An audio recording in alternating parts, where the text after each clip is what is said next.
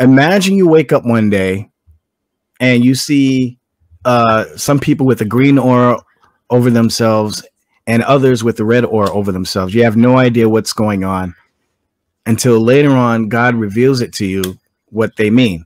The green aura over some people means that they're destined for heaven, and the red aura over to other people are, means that they're destined for hell.